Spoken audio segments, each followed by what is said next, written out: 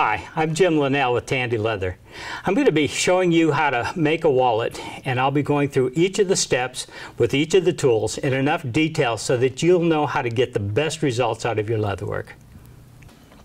The next step in bringing our design to life is to do the beveling. Beveling is where we press down the leather on one side of the line and make the design stand out. So this is really one of the most important steps in uh, in carving a does design, and at least in stamping it. And bevelers, they come in a lot of different sizes, um, from large to small, and you really need to have, you know, something that goes from small, medium, even up to large like that. That's a good range of, of bevelers to have available. I like to use the ones with the checkered texture on them. They tend to come out a little bit smoother, but I'm going to show you some tricks that'll help you get your, your beveling to come out nice and smooth. A beveler tool when you look at it from the, the side, you can see that it is a bevel shaped tool. It has one corner here that is longer than the others, and that's the side that actually does all of the work. Uh, when you're using the tool, you will always have that facing towards you. So if I was going to bevel this line, I would turn this so that the tool that I'm using is actually sitting in the in the in the cut and I'm looking right at the face of the tool. I'm going to turn this so you can see what I'm doing but uh, being able to see what the face of this tool is doing is how you make sure you get good clean beveling and the, what we do is by tapping this tool and moving it along we press down the leather on one side of the cut and it looks like that is raised up eh, by, by pressing this down. If you've got good moisture content in your leather, if you've got it cased just right, you're going to get this real dark burnish. And as I mentioned earlier, that's what you want to look for on your photo carve pattern is that dark burnish. That's going to indicate which side of the line you should be beveling. And that's one of the challenges for somebody first getting started is figure out, okay, which side of the line do I bevel? Um, so the technique of using this tool is real similar to using the pear shader in that you want to, again, have the grip so that you're gripping it down here close to the working end. You want to have a tight grip.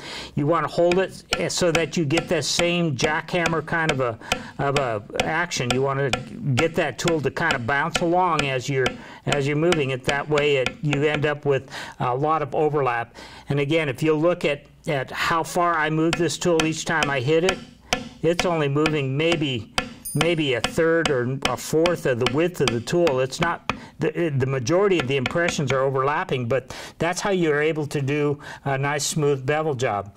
Let me show you how it worked out when I was starting to get bevel when I first started my beveling, I, I went along and I tried to slide it and move it, and it looked like somebody got their teeth into my leather. You could see every mark that I made. And there's several things that cause that. Number one is moving it too far. When you're beveling, you want to only move it just a little bit each time. And so that's where you want to learn this jackhammer thing. Makes it easy so that uh, it's ready to move along. Sometimes people will hold this tool and they, they're afraid it's going to, they'll have a death grip on it so that they're thinking it's going to get away from them. So when they hit it, they're pushing down and this now is sitting in a hole in the leather and so it doesn't want to slide. So the grip and having it just lightly touching the leather allows it to bounce along. And look at that, you actually can go back and clean this up. If you make a, a mess the first time over it, you can go back over it and smooth it up. One of the other things that will cause these bumps in between each impression is angling the tool. If you have have this tool angled, trying to push it along, scoot it along like that, you have the side of the tool making an impression. If you end up with this jagged look, again, you can, it's probably, look at your technique, make sure that you're holding it straight up and down. When you're using the tool, you can lean it towards you just a little bit you don't want to lean it back. If you lean it too far back, then you have the heel of the tool leaving a line on the back side of the row of impressions, and you don't want that either. You want these impressions to kind of fade out and disappear. So holding the tool for the most part straight up and down, letting it kind of bounce along like that. And one of the other important things about the beveler is to make sure you get it beveled deep enough. This is where you actually get the three dimension in your design. So when you're beveling, you want to bevel um, as deeply as you cut. So if you've cut this leather, say one third the thickness of the leather, and you bevel to the bottom of the cut, then you're going to have this design standing out one third the thickness of your leather. As we start working on our design here, the first place I want to bevel is I want to bevel this border. One of the general rules of beveling is you want to bevel the um, items that are closest to you. And so since we have sort of like a frame around this, I want to make that frame stand out first. So I'm going to uh, would first start by beveling uh, around the uh, on the inside of this border. That kind of makes it look all like it's sitting inside of a frame. And getting some good depth. And here I went to a, a wider tool. That's that's what these long, larger tools get used for. Is uh, um, uh, these long straight lines like this. But the technique, again, is still the same. You see, I'm just kind of letting it bounce along, getting lots of overlap with those impressions.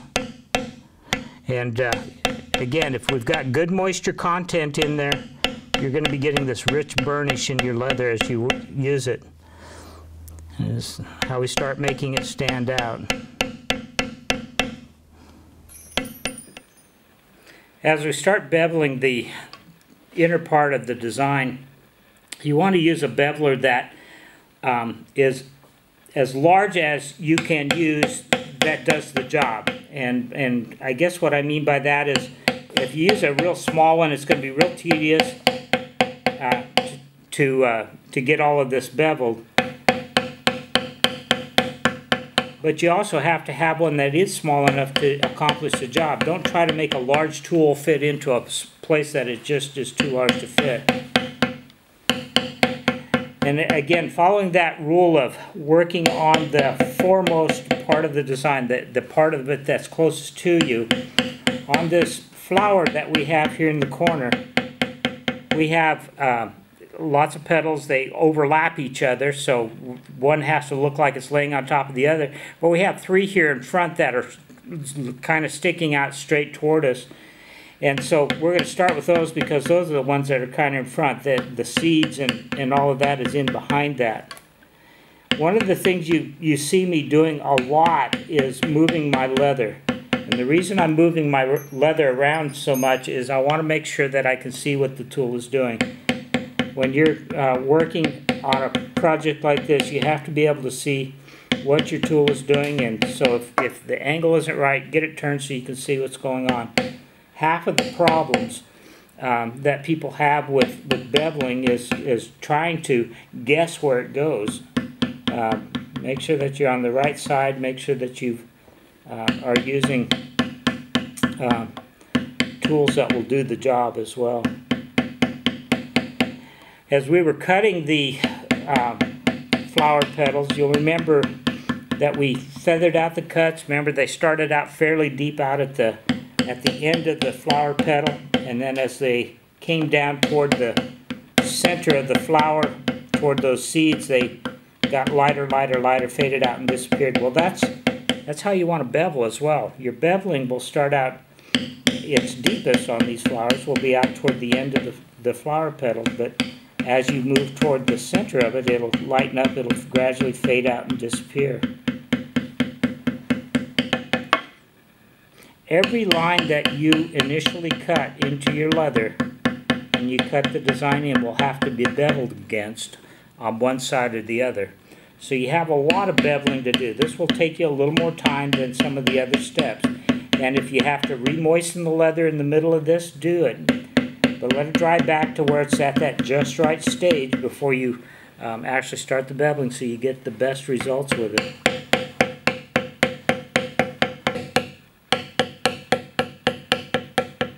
As we get toward the end of our beveling, we need to, again, make sure we haven't missed anything. Um, there's still time to go back and clean up if some of it hasn't come out as smoothly as you would like it or you're not happy with the depth that you've gotten. You can go back and fix that at this time.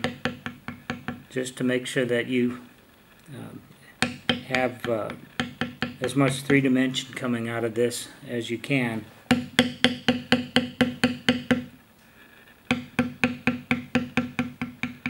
But it's good, good time to go back and double check and make sure that you have gotten everything that you need to. If you're feathering out, didn't feather out as much as you wanted, you can come back and smooth that up. But this is a, a good time to do that double check. So if you're happy with it, the next steps that we will use uh, are the ones that add some of the texture, the veiners, the seeders, and those those things. So that that's what will come next.